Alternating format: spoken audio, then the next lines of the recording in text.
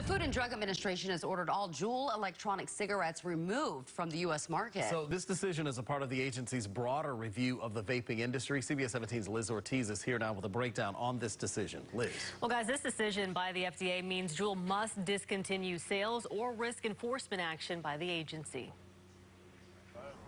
Juul e-cigarettes have become popular in the United States, especially among teens. And now the Food and Drug Administration has denied the company's application to sell its products in the U.S., pulling Juul off store shelves. I think this is a very uh, welcoming um, um, decision made by FDA, keeping public health and health risks uh, of the users uh, in mind. The FDA says Juul's application didn't have enough evidence to show that marketing of the products would be appropriate for the protection of the public health.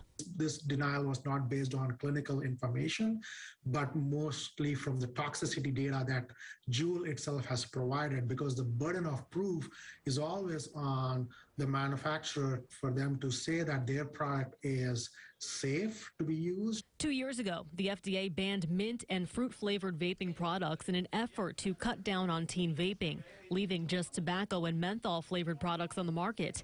Matthew Myers, president of the Campaign for Tobacco Free Kids, says Juul helped fuel a generation of kids addicted to nicotine. If we're going to continue to make the progress in reducing youth cigarette smoking and e-cigarette smoking, this decision is a critical next step. In recent years, thousands of lawsuits have been filed against Juul. Last year, the company agreed to pay North Carolina $40 million over six years for what Attorney General Josh Stein said was the company's role in the increase in the number of teens vaping. Those funds will go to help people stop vaping and prevent e-cigarette addiction. I'm happy that uh, Juul is off the market.